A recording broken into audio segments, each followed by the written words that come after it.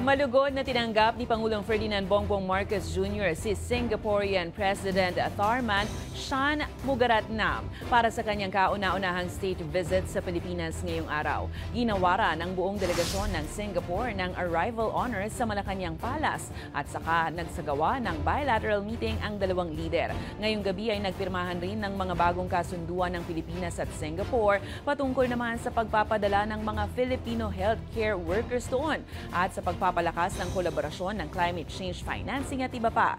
Mababatid na una na rin nagkasunduan ng Singapore at Pilipinas patungkol naman sa pagpapalakas ng defense cooperation. Samantala, hindi naman pinalagpas ng Singaporean leader ang batiin ng tagumpay ng mga atletang Pilipino sa katatapos na Paris Olympics.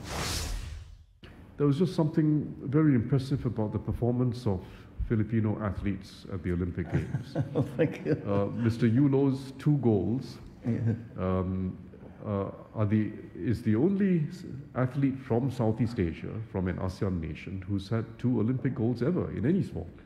So it's a real milestone. Mm. It's a real milestone for all of us. I mean, we, we share in a bit of the reflected glory of, Oh, of well, the Philippines. We, we, we, we had a bit of that